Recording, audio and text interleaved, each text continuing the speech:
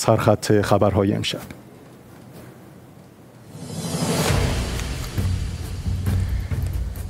تقویت قوانین مهاجرتی در آمریکا با توجه به بازگشت احتمالی دونالد ترامپ.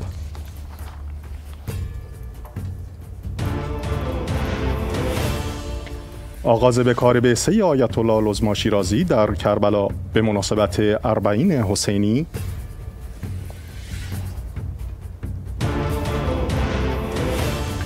دیدار هیئتی از مجموعه رسانه امام حسین با مدیران گذرگاه مرزی مهران.